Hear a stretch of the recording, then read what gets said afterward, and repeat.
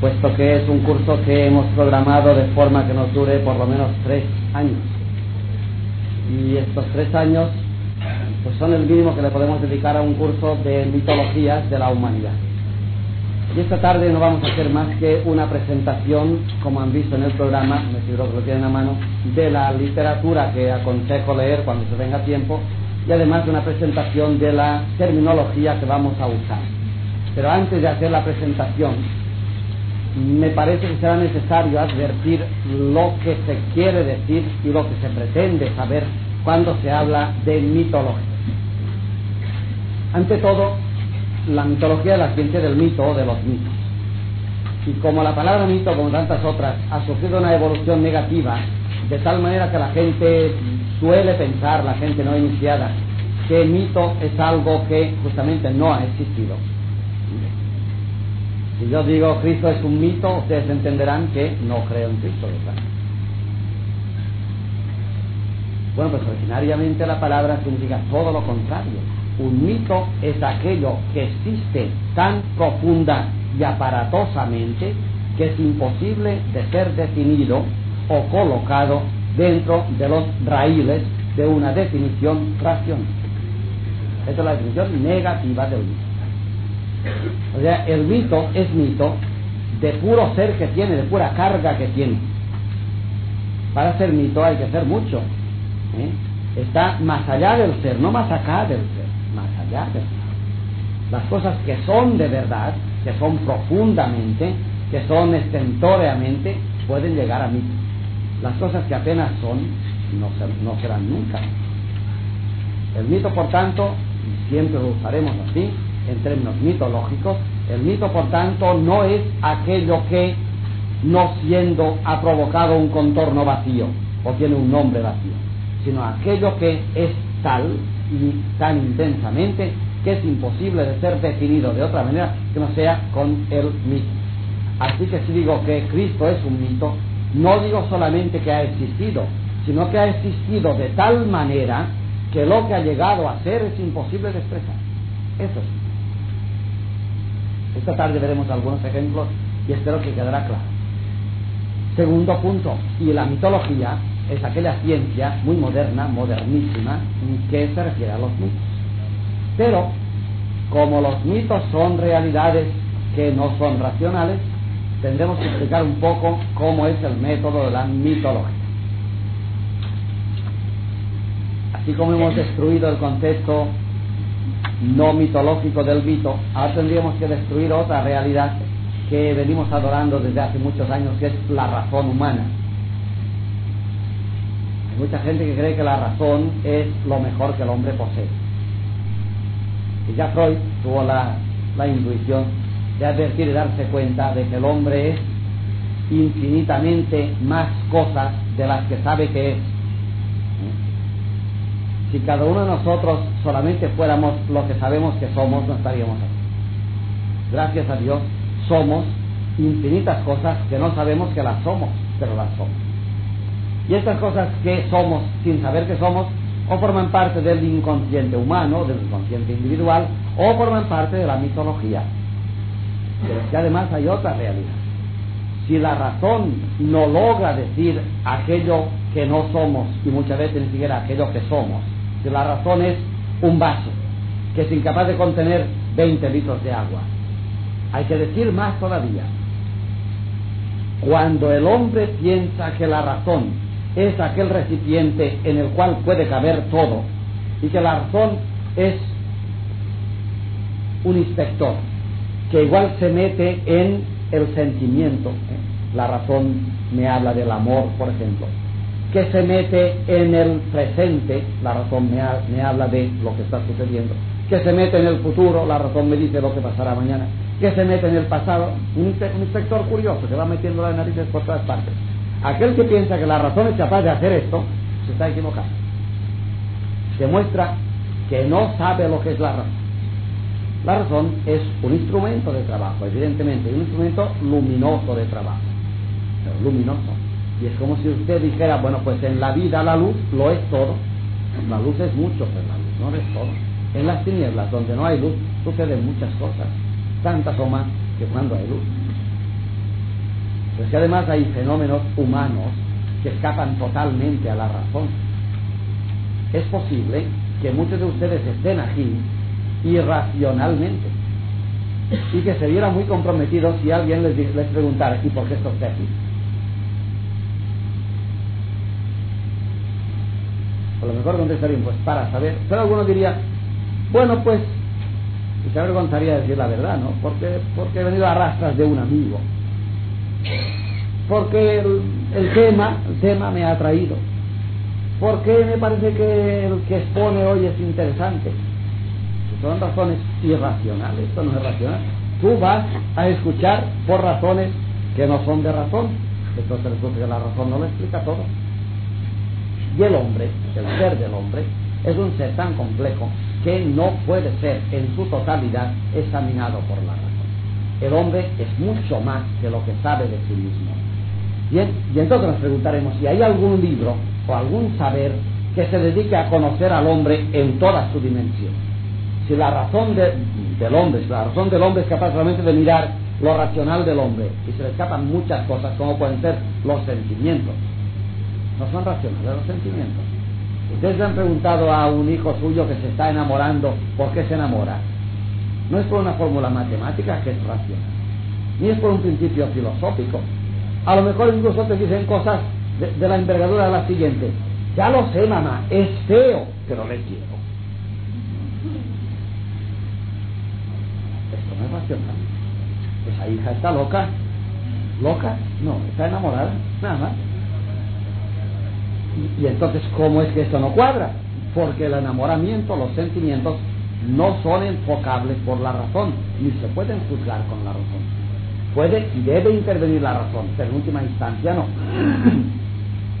Creo que les contaba el año pasado la anécdota famosa de, de Kant, de Manuel Kant, el gran filósofo, que justamente era tan filósofo que sometió el amor cuando se enamoró de aquella Olga, se sentó una noche y cogió dos cuartillas y puso en la cuartilla izquierda en contra de enamorarme. ¿eh? Esta chica tiene contras las siguientes y las fue enumerando. Las contras que le veía. Ya empezamos diciendo esto es demasiado racional. Una persona enamorada no se sienta a compulsar las contras. Esa no está enamorada. Las contras. Y otra cuartilla, los pros. ¿eh? Ventajas de enamorarme. Como salió una desventaja más que ventajas, no se casó jamás. Idiota, ¿verdad? Bueno, pues es el maestro del buen pensar. Sí, señor. Porque tiene una crítica, además que crítica de la razón pura. y otra crítica de la razón práctica, son las obras de Kant.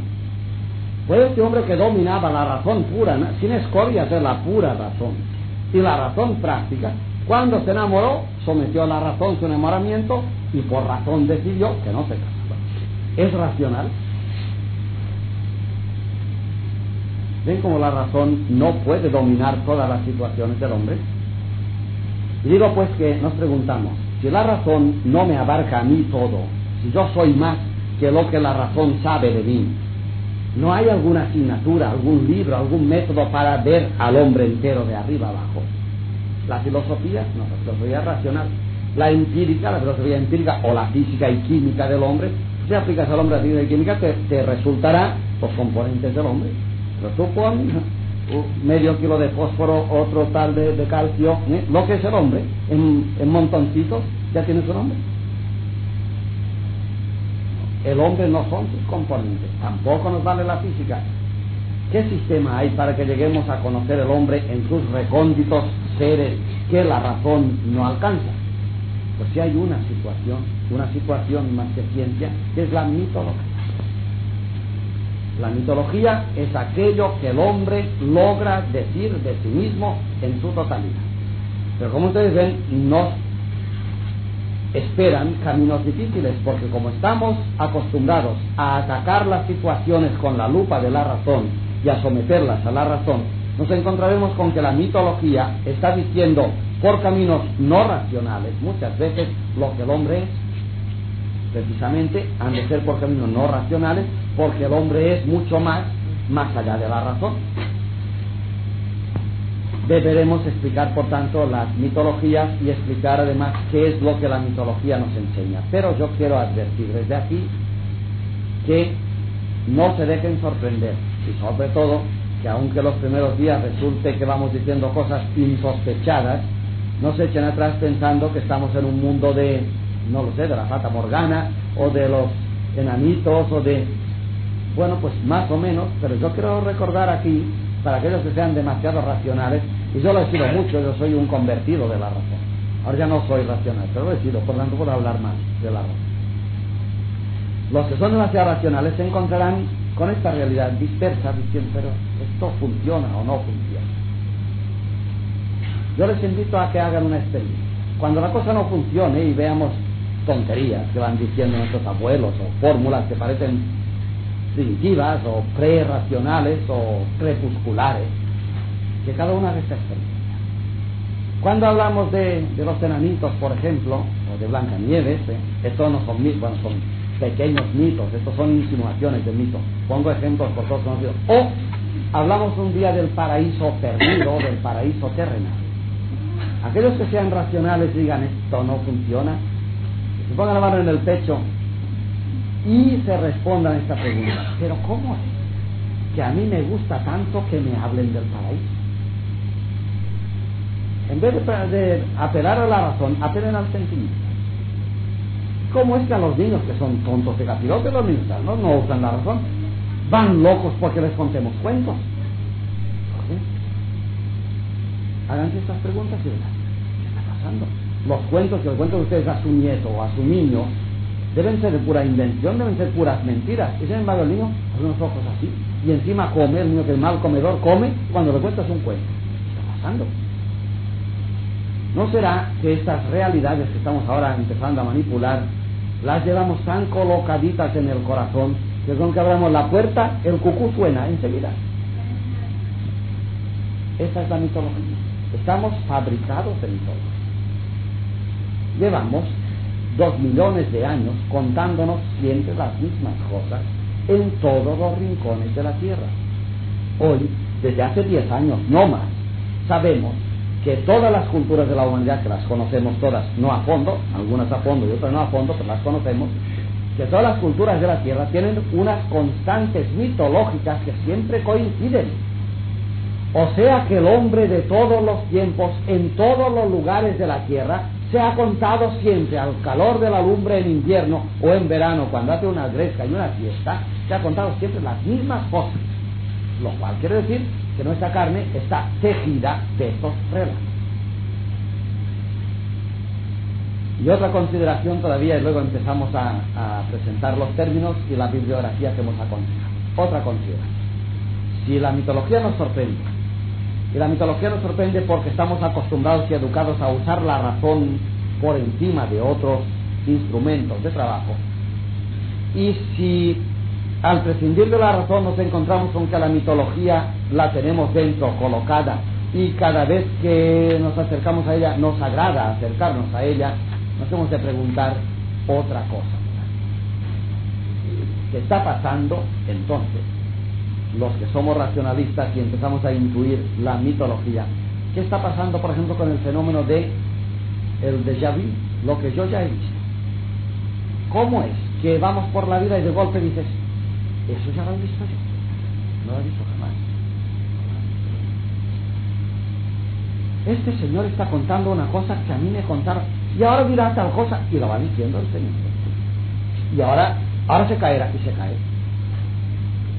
Yo ya había asistido a esta escena. ¿Cuándo? ustedes ya responderán en la otra encarnación. La, la mitología no conoce más de las encarnaciones.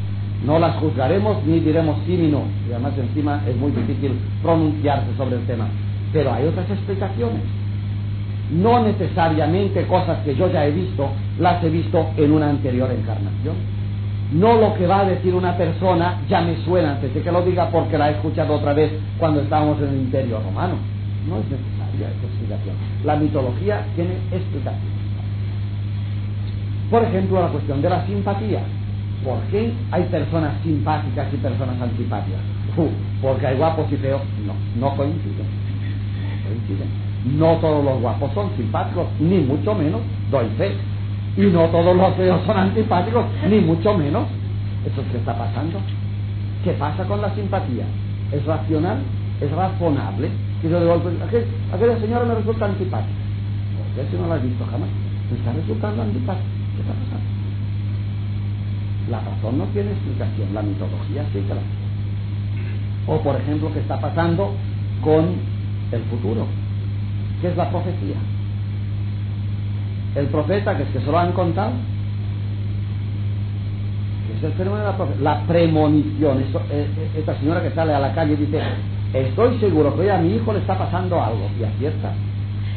o le va a pasar algo, que es la premonición. Hay un mundo en el cual nos movemos, es nuestro mundo, y en el cual funciona perfectamente la profecía, que es una previsión del futuro, o el déjà vu, que he dicho ya, lo visto anteriormente sin que lo hayamos visto, o la simpatía o la repulsión, la antipatía, o la premonición, o la telepatía. Hay un mundo en el cual esto funciona. En este mundo se movían como paisanos nuestros abuelos. Cuando llegó la razón, empezó con su escoba a barrer todo esto. Yo dije, premonición, tontería, es racionalista. Él se lo pierde. Profecía, ¿qué va? Si no se puede saber el futuro. Es un racional, él se lo pierde y se puede saber. Simpatía, ¿qué va? Es simpático antipático, según te den dinero no te lo den. No es verdad. La razón ha barrido y ha hecho que el hombre, como pasa siempre, al hipertrofiar el sentido de la razón, haya atrofiado a los otros sentidos. Claro.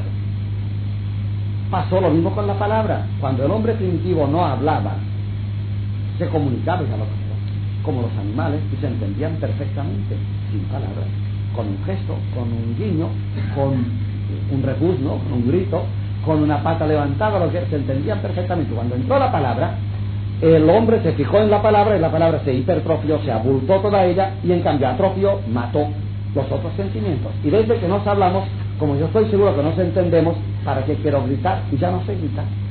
¿Para qué quiero silbar? ¿Cuántos humanos ya no silban? ¿No? ¿Ya? no hace falta silbar. O por lo menos, ¿cuántos de nuestros abuelos estaban en el bosque escuchando el aire y sabían que venía una gacela por el bosque o venía el león? Ya lo creo, lo sabían. Y hoy, como nos entendemos, no entendemos tanto que hasta el león nos come, no nos enteramos, porque hemos perdido el sentido de, de orientarnos en el bosque, porque vamos orientados con la palabra. Pero eso sucede cada vez, tanto con el descubrimiento de la palabra como con el descubrimiento de la escritura, otro tema curioso. Hace dos días que escribimos, ¿no? Los que escriben. Hace dos días que escribimos, antes se lo contaban todo de palabra. Y tenía una memoria de elefante, de siete elefantes, los humanos. Claro, como no podían, no sabían escribir, la escritura es de ayer, nuestros abuelos se lo contaban todo y no perdían palabras. Los cuentos los sabían al pie de la letra. ¿Y qué? Claro, como no sabían escribir, no quedaba más remedio que archivar. Y tenían un cerebro monstruoso. Y se contaban por los siglos de los siglos siempre las mismas cosas sin fallar jamás. Como pasa con gente que todavía ejercita la memoria. Son monstruos, yo no sé si ustedes han visto algunos, yo sí. Gente que te recita un poema y después de recitar lo ha leído una vez, se lo recita de memoria y después se lo entiende por detrás, pues al revés. Y lo ha leído una vez. Se llama memoria retentiva. Han retenido, ven la página, la ven, sin verla, claro, y la leen. Y luego la leen al revés. Sin equivocarse. Son monstruos de la memoria. Pero esta memoria ya no la tenemos porque no hace falta. Como ya tenemos la escritura, para que queremos recordar en el cerebro tantas cosas. Y ahora vienen las computadoras, ya ustedes, ahora perderemos el sumar, multiplicar, operación. No las perdemos. ¿Para qué quieren los niños sacar raíces cuadradas si con una tecla sale? Ya veremos como los niños de mañana, logaritmos, ni los estudian ni los sabrán. Porque están hechos y están calculados. Digo que cuando apareció la palabra, como sucedió con la escritura y sucedió con la razón en el siglo XVIII, cada uno de estos inventos nuevos relega a la sombra los otros elementos. Y así resulta que, por ejemplo, con la palabra, y entramos ya en la mitología, por ejemplo, con la palabra, el hombre es tan orgulloso de lo que sabe decir, porque lo dice bien, se lo quiere decir, que ya prescinde de todo lo demás. Y el hombre cuanto mejor habla, más prescinde de los otros sentidos o de las otras expresiones. El hombre que mejor habla, pues es el que peor silba, o el que peor escribe, o el que peor siente, o el que peor se orienta en el bosque. ¿Por qué? Porque se fía en su palabra. Con lo cual sucede que el hombre que lo fía todo en su palabra pierde infinidad de cosas que no caben en la palabra. La palabra es una mentira. Cualquier palabra que nos digamos siempre dice menos de lo que queremos decir, no lo dudo. Siempre. Y lo que yo quería decir y no lo digo con la palabra donde lo digo, como no tengo otro recurso, se queda muerto. En cambio, si tengo, además de la palabra, el gesto o la cara expresiva, o un grito para dar, o un oído para escuchar, entonces resulta que la palabra viene completada por estos otros sentimientos. Pues bien, la mitología manejaba en el hombre primitivo, manejaba todos sus sentidos de orientación. El hombre captaba la realidad no por la palabra, no hablaba. No por la escritura, no había escritura. No por la razón, que la usaba poco, pensar que los primeros hombres pensaban poco y pensaban muy pocas cosas, sino por todo el desnudo cuerpo que se extendía sin extenderse a todo el alrededor que le envolvía. Y percibía una mosca que pasaba, la sentía venir, o sentía el olor, hemos perdido el sentido del olor, por ejemplo, ¿no? Como los perros que tienen el rastro, el hombre primitivo sentía el olor o sentía venir un terremoto, ahora nos pilla de improviso un terremoto por torpe. Los perros sienten los terremotos y el hombre primitivo también. O venía el diluvio, ya sabía, como el campesino, pasado mañana lloverá. Los de la ciudad no sabemos nada, ellos sí lo saben. Bueno, pues este hombre que captaba la realidad de inmediato y por la pluralidad de antenas que tenía, logró acumular estas experiencias a lo largo de siglos y logró formularlas, no de forma racional, sino de forma mitológica. Eso es lo que vamos a explicar. Por tanto, en realidad, y termino la primera parte, en realidad la mitología nos dirá lo que el hombre sabe del hombre a través de los siglos y a través de todos los medios de información que tiene o ha tenido, que quizá no tenemos como he dicho, la simpatía o la telepatía o la premonición o el oído fino o el olfato que tenía el primitivo. Con lo cual sucederá que nos encontraremos con sorpresas. A lo mejor el hombre de hace un millón y medio de años, de ciertos temas, sabía más que nosotros que sabemos tanto. Y una cosa sí que es importante, y es que nosotros que sabemos tanto, sabemos menos del hombre primitivo de lo que él sabía, eso es lógico. Esto ya es importante. Eso habrá que cogerlo con respeto, porque este hombre primitivo del que hablo y que parece poco primitivo es mi propio abuelo, ¿no? A menos que alguno de ustedes venga de otra rama, estamos hablando de nuestros antepasados. Antepasados simiescos, si quieren ustedes, pero antepasados. Y estos antepasados son objeto de nuestro conocimiento, por una parte, pero a la vez estimulan nuestro conocimiento. Sabían del hombre más que nosotros. Lo que pasa es que ellos no sabían que lo sabían y nosotros quizás sabemos que lo sabemos, pero de todas formas, nosotros que sabemos de nosotros mismos lo que sabemos, sabemos otra cosa, y es que es mucho más lo que de nosotros no sabemos que lo que sabemos, nosotros que de nosotros sabemos tanto.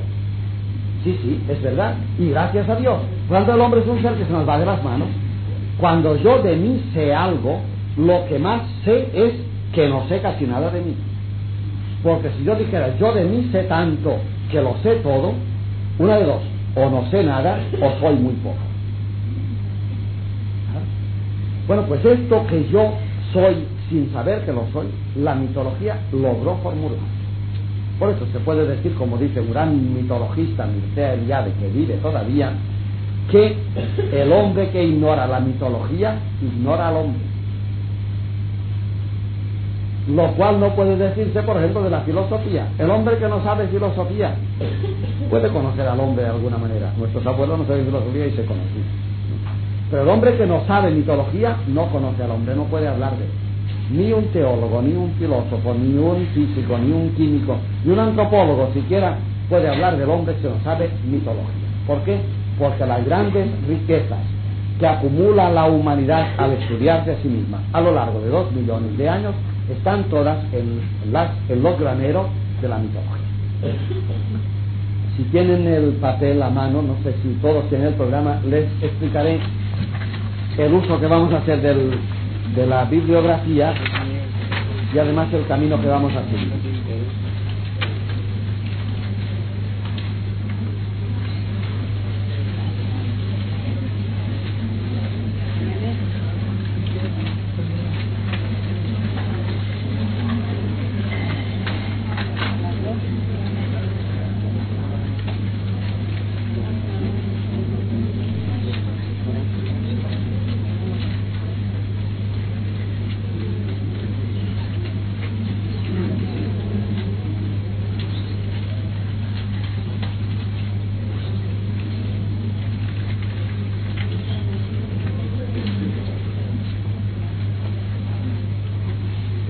Hoja aparte, que es la de la bibliografía,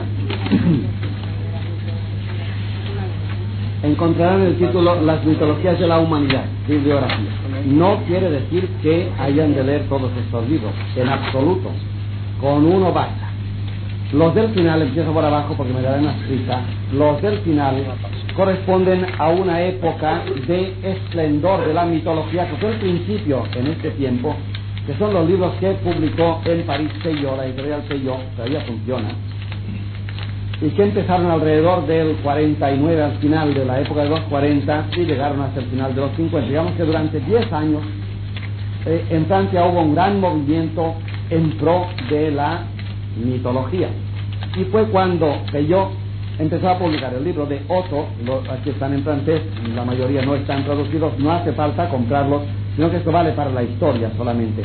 El libro de Otto, Rudolf Otto, que es un alemán, escribió un libro, Lo Sagrado, que se refiere a la mitología, es del 49. Después, un danés, Nilsson, escribió en francés y por la misma editorial las creencias religiosas de Grecia, de la Grecia antigua, les croyances religieuses de la Grecia antigua. Y lo publicó en mitad del, del sobre el 50, sí, está aquí, 55. Después Hugo Ranner, Hugo Ranner es un jesuita, hermano del famoso padre Ranner, hermano. Padre Ranner era Carl Ranner y este es Hugo Ranner. Escribió también un estudio, él conocía a Homero muy bien, Hugo Ranner, unos, un estudio sobre los mitos griegos y el misterio cristiano, la relación entre Grecia y el cristianismo. Y después Wenzel, que es famoso, es un alemán danés, le escribió un libro sobre la inmortalidad, la inmortalidad. Como ven, todos los libros van, digamos, dentro del 50, del 50 al 57 justamente estos años, esto es lo que quiero advertir, que curioso, ¿verdad? Para que vean lo que son las cosas, son los años en que cayó en París un meteoro, espléndido meteoro, Mircea Eliade. Mircea Eliade es un rumano, vive todavía, está en Chicago.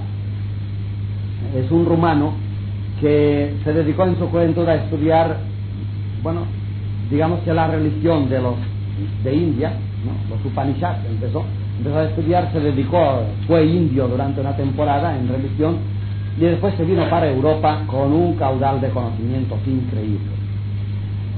Y una vez que empezó a investigar, cayó en París, estuvo cuatro o cinco años donde yo le conocí, son estos años, y armó tal revuelo que se puso de moda la mitología, que nadie estudiaba, que nadie sabía mitología.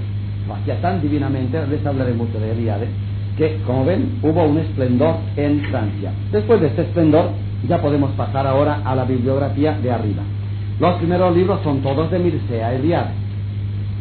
Tratado, primero salían en francés, en las traducciones castellanas, como ven, son muy posteriores. Él escribió también sobre los años 50 y 60, pero las traducciones que tenemos en español son de hace menos tiempo. Tratado de Historia de las Religiones, dos volúmenes. Este es, esta es la traducción de un libro que yo vi aparecer en París que se llama Traité d'Histoire de Religión, y apareció sobre el 50 y tantos, no me acuerdo exactamente el año. Se fue traducido el año 74, esta edición de Christian Es muy buena la edición. Y después tiene otro libro, Historia de las creencias y de las ideas religiosas, en cuatro volúmenes, que está aquí en la biblioteca. Son unos volúmenes, tres, de texto, de texto que él dicta, o sea, de estudio suyo, y después de textos de mitologías, que vale la pena de leer, pues son muy buenos. Fue un librito de oro que causó sensación, Imágenes imágenes y símbolos. Muy bueno, este es el primero que aconsejo que lean porque es una introducción al mundo fabuloso de la mitología y como Eliade además es un poeta, aunque no escribe poesía, les introduce de maravilla, sobre todo el último capítulo de este libro, sobre los mitos y los símbolos, son una puerta de oro para entrar en el paraíso. Es una maravilla. Un libro precioso y, eh, corre en ediciones castellanas desde el 73 o 74 corren de mil formas. Es la edición de Taurus, imágenes y símbolos. Otro libro también de Mircea Eliade, Lo Sagrado y lo Profano. Como ven, coincide con el texto con el que he citado abajo de Otto, Le Sacré. Escribían al mismo tiempo los. Otro, otro libro también de oro del año 73, la traducción es Mito y Realidad. De este hablaré ahora mismo para la introducción que quiero hacer y terminar. Mito y realidad. Otra idea